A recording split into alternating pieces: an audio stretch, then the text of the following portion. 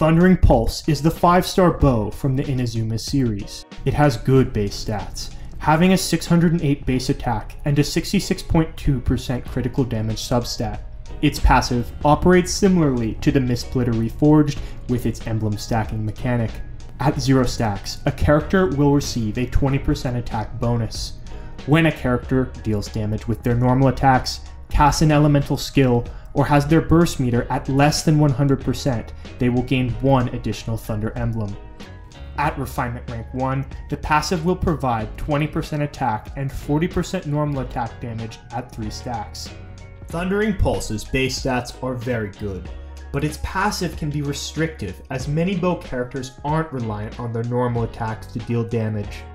However, even though Thundering Pulse does have a more specialized passive, it does work well for the majority of bow characters who do use normal attacks, and its good base stats allow it to outperform a majority of bows.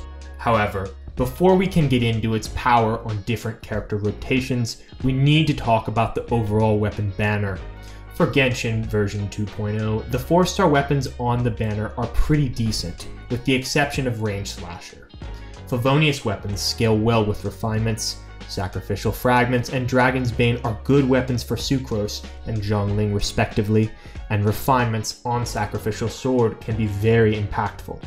However, Skyward Blade, Thundering Pulse's weapon companion on the weapon banner, is not a good weapon.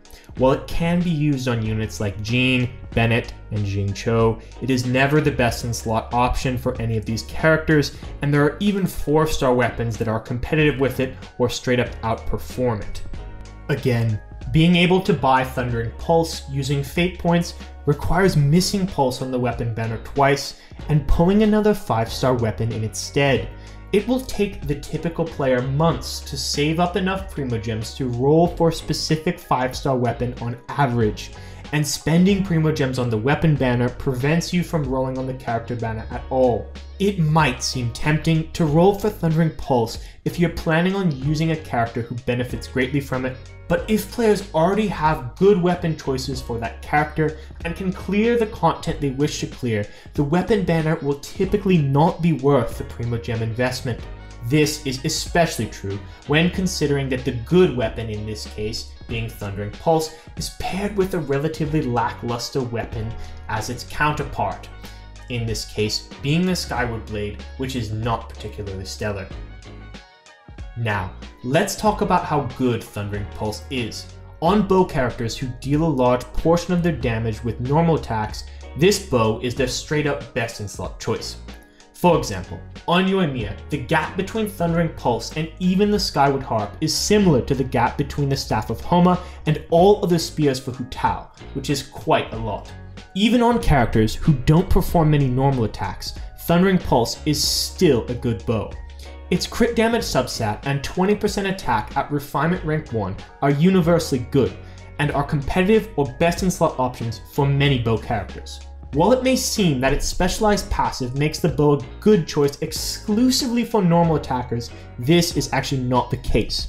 Thundering Pulse is a very good bow for many bow users and competes with the Skyward Harp as the best in slot option if players already have the Skyward Harp and aren't using a character who benefits especially from Thundering Pulse, which is only Yoimiya at this moment, it's hard to recommend rolling for it. Now, let's talk about how Thundering Pulse performs on some specific characters. On Childe, Thundering Pulse is slightly better than Skyward Harp. While it seems like its normal attack bonus should be extremely good for Childe, who uses many normal attacks, in a typical Childe rotation, he should be vaporizing his burst, using charge attacks, and causing a significant number of Riptide slashes, none of which scale off of normal attack damage. In a multi-target scenario, only around 25% of Childe's damage actually comes from his normal attacks. While Thundering Pulse is still marginally better than Skyward Harp for most players, it's difficult to recommend the bow if players already have a Skyward Harp. On Yoimiya, Thundering Pulse easily beats out any of the other options for her best in slot choice. She is heavily reliant on normal attacks to deal damage, so Thundering Pulse will offer a bonus to a significant proportion of her damage. Thundering Pulse is so good on her that a Refinement Rank 1 Thundering Pulse can even beat out a Refinement Rank 5 Skyward Harp.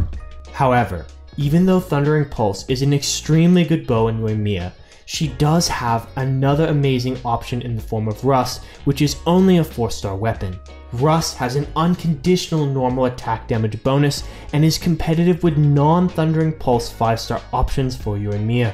If players are on the fence about rolling for Thundering Pulse for Yoimiya, they should consider Rust as an option before rolling, especially if they have any pre-existing refinements on it, as a Refinement Rank 5 Rust is better than all other 5-star options at Refinement Rank 1, excluding Thundering Pulse by a wide margin.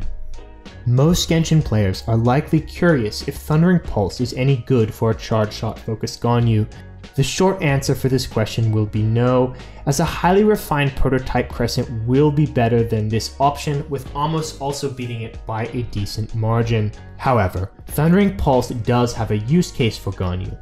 In the popular Morgana team with Venti and Mona, Ganyu deals the majority of her damage with her burst due to the way that its targeting works when there are multiple grouped enemies inside her burst field. Because she deals more damage with her burst and thus comparatively less damage with her charged attacks, the value of Amos' Bow is diminished in this team comp.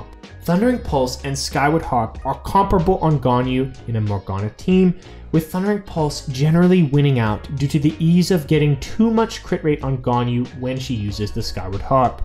For Fischl, Thundering Pulse is both a good support and a good main DPS weapon choice. As a support, Thundering Pulse is Fischl's best in slot weapon as it slightly beats out the Skyward Harp, as a main DPS, Skyward Harp is better than Thundering Pulse in physical Fischl builds because its passive deals physical damage. Thundering Pulse can win out in Electro builds if Oz's uptime is maintained or in single target scenarios, as Skyward Harp's passive hits in an AoE.